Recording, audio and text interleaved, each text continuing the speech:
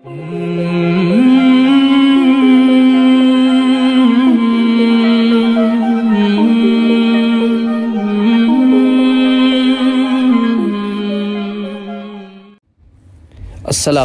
वरहमल वबरक दो रोज़ कबल आपसे ये बात मैंने अर्ज़ की थी कि अगर अपनी दुआओं को कबूलियत के दर्जे पर पहुँचाना चाहते हो तो दूसरों के लिए दुआ करो। इससे नफ्स भी बड़ा ज़बरदस्त रहता है और नफ्स की बीमारियों से भी इंसान बचा रहता है और अल्लाह ताला दूसरों के लिए दुआ मांगने वाले को आता फरमाता है और उसके लिए ख़ास फरिश्ता भी है।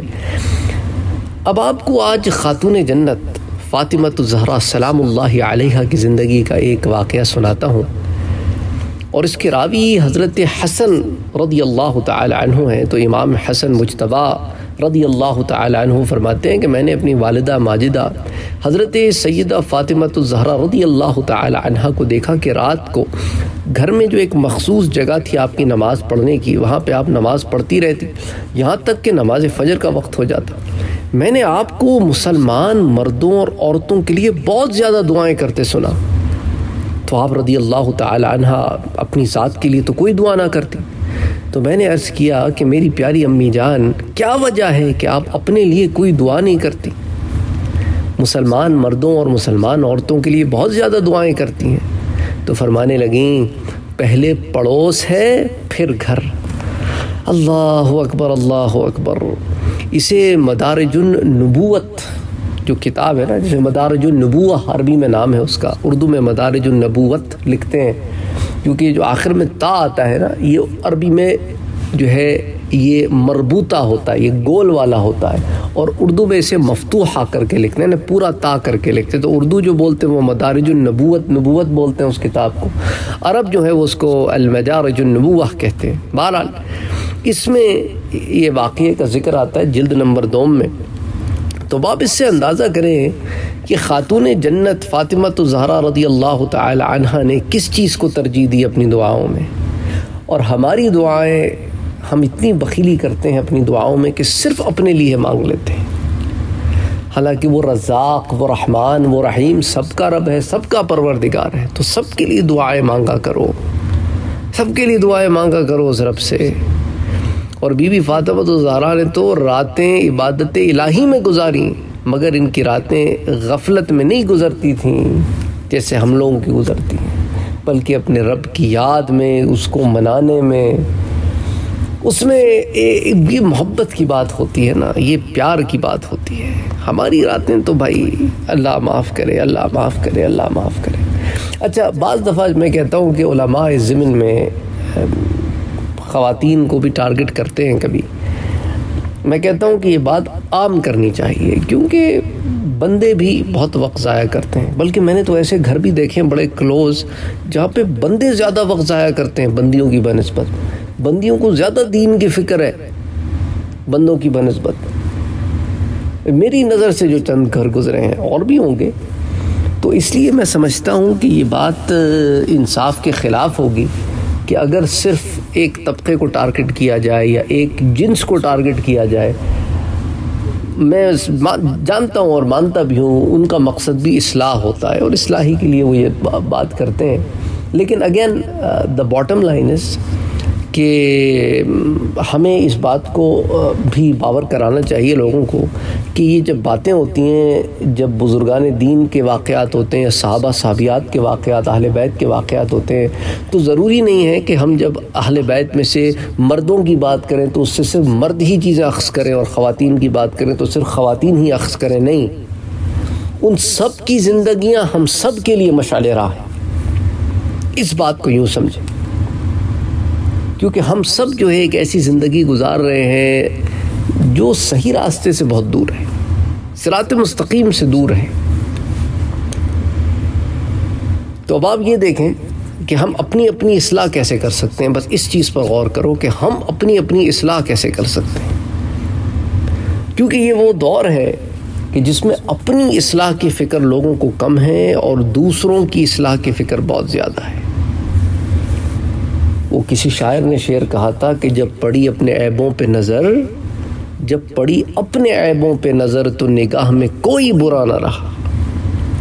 तो आप इससे अंदाज़ा करें, हमारी निगाह में तो सब बुरे हैं सिवाय हमारी ज़ातों के। हमारी अपने ऊपर नज़र ही नहीं है, और अगर कोई हमें ये बता दे कि भाई, आप में ये कमी है, ये कमी है तो हम उससे लड़ पड़ते हैं, बुरा मान जाते हैं। इसलिए कोई किसी के सामने उसको आईना नहीं दिखाता।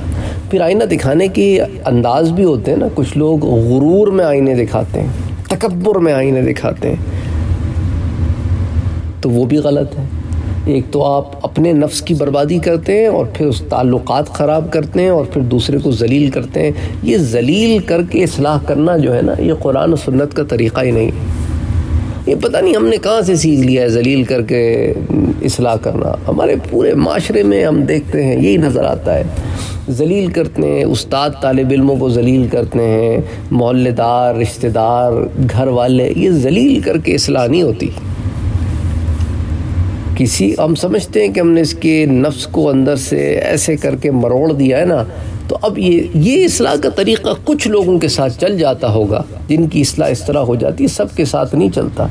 आजकल तो वैसे ही दिमाग सबके आसमानों पर चढ़े हुए हैं। कोई अब बर्दाश्त ही नहीं करता इस चीज़ को। वो कहते हैं, क्या तरीका है यार, ये बात करने का? लोग नाराज़ हो जाते हैं। इसलिए असलाह ही मकसद है तो फिर तरीक़ाकार बदलना होगा। हो सकता है एक नस्ल की इस तरह असलाह हो गई हो। लेकिन अब आगे चलते हुए वक्त के साथ साथ इसलाह जो है वो बदलनी होगी। इसीलिए वो हमारे यहाँ वो एक बड़ा मसला है। मैं बैठा हुआ था पिछले दिनों बल्कि मेरे ख्याल से एक दो साल पुरानी बात है। आ, एक मस्जिद के प्रेसिडेंट साहब के साथ। वो कह रहे थे कि यार मैंने इमाम हायर करने के लिए इतने लोगों से एप्लीकेशंस मंगवाई और वो बे भेजी भी। कई लोगों ने दुनिया के मुख्तलिफ़ मकाम से भी जो आके यहाँ पे अमेरिका में सेटल होना चाहते हैं। लेकिन कहते हैं, बड़ी हैरानी हुई मुझे कि यहाँ पर बाहर के मुल्क से आके वो इमाम बनना चाहते हैं, लेकिन उनमें से किसी ने ना इकनॉमिक्स पढ़ी है, ना उन्होंने बिज़नेस की कोई क्लास ली हुई है, ना उन्होंने लिबरल आर्ट्स की कोई क्लास ली हुई है। उन्हें ख़बर ही कोई नहीं है, ये जोग्राफ़ी क्या होती है? उन्हें इन चीज़ों के तो बारे में पता ही नहीं है। वो कम्युनिकेट कैसे करेंगे आम आदमी के साथ? उन्होंने साइंस की कोई क्लास नहीं ली हुई मैथ्स की कोई क्लास नहीं ली हुई। वो अपनी फ़ील्ड में बादशाह हैं। पर वो एक आम आदमी से कम्युनिकेट कैसे करेंगे? उसके मसाइल का हल कैसे तलाश करेंगे? उसके लेवल पे आके बात कैसे करेंगे? क्योंकि अब वक्त बदल गया है, लोग दीन से दूर हो गए उन्हें दीन में लाने के लिए आपको उनके मैदान में उतरना पड़ेगा। अगर आप अपने मैदान में रहेंगे, वो अपने मैदान में रहेंगे। वो तो वैसे ही दूर हैं। तो खैर, बहरहाल कहने का मकसद ये है कि ज़रूरत सब्र की इस पर काम हो रहा है। मुझे नाउमीदी नहीं है। अल्हम्दुलिल्लाह, सुम्मा अल्हम्दुलिल्लाह। कुछ बड़े अच्छे विजन वाले मदारस, उलमा और इस ज़मीन में लगे हुए हैं कि इस तरह के आगे आए हैं जो रोबोटिक्स में काम कर रहे हैं, बाज़ मदारस में बच्चे। कंप्यूटर में काम कर रहे हैं, इंजीनियरिंग में काम कर रहे हैं, मुख्तलिफ़ और फील्ड्स में काम कर रहे हैं साथ साथ आलिम भी बन रहे हैं। तो बहरहाल अच्छी बात है, अच्छी सोच है और इसी तरह के लोग आगे चाहिए, जो क्योंकि देखिए ना, दीन का जो इल्म है ना, वो एक बहुत बड़ी ज़िम्मेदारी है, बहुत बड़ी ज़िम्मेदारी है। तो ये कोई इसको आप हल्की, हल्का ना समझे। हमारे यहाँ लोग समझते हैं, ये कोई, जो है ना, कोई बहुत मेहनत मुशक्क़त का काम नहीं है, बहुत मेहनत मशक्क़त का काम है। आप ज़रा पढ़े ना कभी बुखारी शरीफ। बुखारी शरीफ आप घर में रखी हुई पढ़ते तो है ना आप, बग़ैर शरा के जो पढ़ते हैं, वो फिर ठोकरें खाते हैं बुखारी शरीफ में। उसका नतीजा हम देखते हैं सोशल मीडिया पे, बग़ैर शराह के, बग़ैर दिरायत के रिवायतें बयान करना। अच्छा फिर अपनी तरफ़ से, अब वो बेचारे को उतनी हदीस पता है ना, उसने वो एक ही हदीस पढ़ी हुई है। अब उस हदीस से मुतालिक जो हदीसें, दूसरी कुतुब हदीस में आती हैं, वो उसको पता ही, कोई ख़बर ही कोई नहीं उस उसने कभी इल्म ही हासिल नहीं किया। तो ठोकरें लगती हैं। लेकिन अब आगे भी लोग हैं, उन्हें पता ही नहीं है, वो आगे कहते जी, बुखारी में लिखा है जी। तो बुखारी में लिखा है तो बुखारी में तो तर्जमतुलबाब जो इमाम बुखारी ने कायम किया है, वो उनकी अपनी फ़िक है। उस फ़िक के लिहाज से उन्होंने तर्जमतुलबाब कायम किया है। वो उनकी फ़ाम है फ़ामुल हदीस है, उनकी अंडरस्टैंडिंग ऑफ़ द हदीस है। ज़रूरी नहीं है कि इमाम बुखारी की जो अंडरस्टैंडिंग ऑफ़ द हदीस हो, वो that is the only understanding of हदीस वो एक वाहिद फ़ामुल हदीस हो, ये तो ज़रूरी नहीं है। बाज़ मुहदसिन और बाज़ फ़ुक़ा ने उसको और मुख्तलिफ़ तरीके से समझा उसी बात को। अच्छा हो सकता है हुजूर सल्लल्लाहु अलैहि वसल्लम से ये भी साबित हो और वो भी साबित हो। हो भी सकता है बाद साहबा से ये भी साबित हो और बाद साहबा से कोई और अमल भी साबित हो। लेकिन वही मसला है ना कि जब प्रॉपरली वो इस प्रोसेस से गुजरा नहीं है तो वो इसको यही समझता है कि भाई ये क्या बात हुई? जैसे एक डॉक्टर साहब मुझे मेरे कहने लगे कि यार क्या बात है, हम तो घर में भी पढ़ लेते हैं तफसीर की किताब। किताब पढ़ना मकसद नहीं है ना। किताबें तो कोई भी पढ़ लेता है, कोई भी पढ़ा लिखा आदमी किताब पढ़ लेता है। किताब पढ़ना मकसद नहीं है। मकसद क्या है? किताब क्यों पढ़ रहे हो? इसलाह के लिए। इसलाह कब आएगी? इसलाह के लिए इल्म का भाव होना बहुत ज़रूरी है, क्योंकि इल्म से इसलाह में गहराई आती है। इसलिए इल्म की ज़रूरत होती है।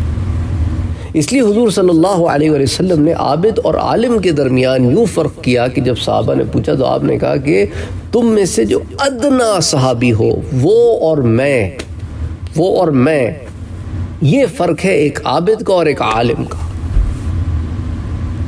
तो आलिम को हल्का ना समझना। ये बड़ी गलतियाँ हैं हमारे यहाँ माशरे में। लोग समझते नहीं हैं इस बात को कि ओलमाए हक़ जो होते हैं वो अल्लाह ताला के एक फ़ज़ल करम है इस दुनिया में। बरकत है अल्लाह ने यहाँ जो हमें दी हुई है। अल्लाह अकबर अल्लाह अकबर इनसे इस्तेफ़ादा हासिल कर लो जब तक मौजूद हैं। फिर आगे तो बड़े खाल खाल ही लोग नज़र आते हैं। एनी anyway, आपका काफ़ी वक्त ले लिया मैंने। मकसद यही था कि आपको ये बात समझाई जाए कि से इल्म हासिल करो, इल्म उसी से हासिल किया जाता है जिसे उस मैदान में इल्म हो। जिस तरह दीगर मामलात ज़िंदगी में आप उसके पास ही जाते हैं ना, जिसे जिस मैदान में इल्म होता है, डॉक्टर के पास कभी आप केक लेने गए हो? नहीं ले, कोई कहेगा तो आप मज़ाक उड़ाओगे। लेकिन दीन के मामले में हम सब आलिम बन के बैठ जाते हैं कि भाई चूँकि हम पढ़ना लिखना जानते हैं तो हम समझ लेते हैं कि हम चीज़ समझ और पढ़ सकते हैं। ये ज़रूरी नहीं है। मुफसर भी एक तफसीर लिखता है तो वो उसकी फाम होती है। अच्छा फिर ये भी है ना, जो तफसीर आप पढ़ रहे हैं, वो किस ज़माने में लिखी गई है? वो ज़बानी तफसीर भी हो सकती है कि उस ज़माने के लिहाज से उसकी उन्होंने वो तावीलात पेश की भाई एक आदमी की फाम है ना वो। एक आदमी ने उसकी तफसीर बयान की है। बहरहाल, इसीलिए तो कराम की सोबतों में बैठ कर फिर तफसीरें पढ़ी जाती हैं। कराम की सोबतों में, मजलिसों में बैठ के फिर हदीसें समझी जाती हैं। कराम की सोबतों में बैठ कर फिर अपने नफ्स की असलाह की जाती है, वरना हर कोई किताब पकड़ के असलाह कर ले। आप में से कितने लोगों के पास कशफुल महजूब होगी? गनियत तालिबीन होगी। किसी के पास और कोई किताब होगी। लेकिन किताबें पढ़ के तो इसलाह नहीं होती अहियाउलूम भी आपके पास रखी हुई होगी। कितने लोग हैं जो अहियाउलूम पढ़ के बहुत नफ्स को सुधार के इधर से अम्मारा से निकाल के वो मुतमना तक ले गए। खाल खाल। खाल खाल। सोबतों का बड़ा असर होता है भाई, हमने अपनी सोबतों को ठीक नहीं किया हुआ, बर्तन अंदर से गंदा है, उसमें जो चीज़ डालोगे, साफ़ तो नहीं होगी ना? जब तक तो उसको रगड़ के साफ़ नहीं करोगे, और वो रगड़ के साफ़ होगी सोबत से, संगत से, सही सोबत, सही अकीदा, सही संगत से तो इसलिए बड़ा एहतियात बरतने का ज़माना है। आजकल तो वैसे ही इतने ढोंगी फिरते रहते हैं। ख़बर ही कोई नहीं होती कौन ठीक है, कौन ठीक नहीं है, कौन सच्चा है, कौन झूठा है। लूटने के लिए हर कोई बैठा है। पीरी फ़कीरी भी धंधा है। कोई डांस कर रहा है वजद के नाम पे, कोई जूडो कराटे कर रहा है, कोई चादरें चढ़वा रहा है, कोई पत्थर बेच रहा है। एक दीन को मज़ाक बना के रखा है। अल्लाह अकबर, अजीब बात है ना, अपने आप को मुसलमान कहते हैं और अपने मुरीदों को नमाज़ का पाबंद भी नहीं कर पा रहे। अजीब बात है ना। या मुरीद बेनमाजी हैं। अक्सरियत। उनकी बेनमाजी है। उनके अंदर नमाज़ का ज़ौक़ शौक़ मोहब्बत प्यार फ़राइज़ कुरान से लगाओ कुरान का पढ़ना कुरान का समझना। ये भाई इतना इल्म है अगर तुम सारा वक्त फारिग होने के बाद सिर्फ़ ये काम करो ना तुम्हें और किसी चीज़ का काम ही नहीं है टाइम ही नहीं मिलेगा। एनीवे anyway, ये तो अपने अपनी प्रायोरिटीज़ की बात है। आप अपनी प्रायोरिटीज़ ठीक करें इन ताला फिर देखें। बरकतें ही बरकतें। आपको ये उल्टी सीधी चीज़ें पसंद ही नहीं आएँगी। समझ ही नहीं आएगी। दिल ही नहीं करेगा इन उल्टी सीधी चीज़ों के चक्कर में। पड़ेंगे ही नहीं आप। अल्लाह अकबर। आपके वक्त का बहुत बहुत शुक्रिया। अस्सलाम वालेकुम वरहमतुल्लाहि वबरकातुहू।